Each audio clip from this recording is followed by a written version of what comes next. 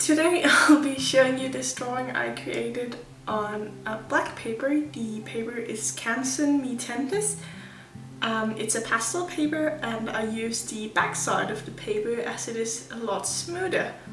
I've used a white polychromos and some white pan pastel as well as a Molotow paint pen. And without further ado, let's get to it! So, as I mentioned, the paper I'm drawing on is the Canson Mi-Teintes. I hope I'm saying that correctly. Um, it's commonly known as a pastel paper and comes in a huge variety of colors.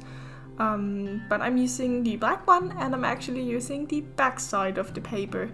I haven't actually tried the paper itself for pastels, so I'm not really sure if it's any good. Uh, I may have to try that in the future, but the backside is really, really great for color pencils and it's it's the best black paper I have found. In general, I can struggle a bit with finding tinted uh, papers that work, work great for color pencils. I have the Strathmore Toned Tan and Toned Grey, which I love. And I also have the Stonehenge Legion, um, but it only comes in a variety of very natural warm colors and not darker colors like this one. Um, they have a lot of different colors as I said, but I only have tried I have only tried the black one. So one of the really cool things I think about drawing on black paper is that you can create some really dramatic um, pieces that has a lot of contrast and you know it's really really dark and really light and has these amazing highlights. And you can actually use the paper to to make it work for you. As here I have a lot of dark areas but I only have to draw in the light areas um, so I'm actually letting the paper do a lot of work for me now, when you're drawing on black paper like I'm here, you have to sort of reverse your mind. Usually we draw on white paper and we build up our shapes and, and our drawings from darker areas. But when you're drawing on white paper, instead you're pointing out your highlights and you're actually drawing the highlights and not the shaded areas at all. And also there aren't a whole lot of midtones either you have your very light areas and your very dark areas um, mostly and then very few midtones. So that can be kind of tricky um, and you have to, to sort of adjust your thinking to that instead of actually wanting to shade things in. It may be a given, but when you're drawing on black paper with white, Choosing a reference photo can be a bit tricky. You have to go for a picture with quite high contrast and, and a, sharp light source.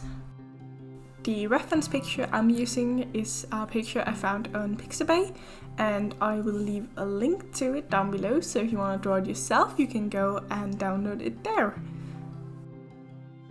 Getting my sketch onto the black paper was a bit tricky what I did was I sketched the tiger on a separate paper and then I took the white pan pastel and then I just coated the entire backside of that paper uh, just like using a transfer paper and then I put it on top and using a dotting tool I outlined the sketch. This is something you can also do with graphite if you don't have any transfer paper. It's, it's a cheap way to transfer your sketches onto your drawing paper. I always transfer transfer my sketches. I never sketch on the paper I'm drawing on itself because I erase a lot and that can ruin the texture of the paper so I can't get enough layers on it. So I always sketch on a separate piece of paper. Most of the time I actually just use some printer paper or cheap paper like that and then transfer it once I'm done. Drawing water is something that can scare a lot of people because it's it's very abstract and you know a lot of different weird shapes. Um, but I feel like it's not that difficult again. You just have to keep in mind that your line should be horizontal and following each other. It's not going to, to go into all kinds of random directions. And here the water was disrupted by the tiger swimming, so there was a lot of small dots I added in to create the effect of moving water. Adding the pastel was really really wonderful on this paper. It's so soft here on the back side and has basically no texture, so it just glided over and created these very even laydowns. And one of the great things with pan pastels is that if you only tap just a bit in the pan, you can actually create these mid-tone grays on the black paper, but if you take a lot of the pan pastel, you can create some very, very wide areas, so that was working just wonderfully. Using a Molotow paint pen, I added in a lot of small dots that was supposed to resembling water in the fur of the tiger and on the whiskers. I think that turned out so well and really tied the tiger in with the water itself. And then using a paintbrush, I dabbed that into some of the excess paint from the paint pen and then just slightly glided over some of the very wide areas to create some fur highlights. And that's it. I really had fun with this drawing and I hope you liked the video. And I guess I'll see you next time. Bye!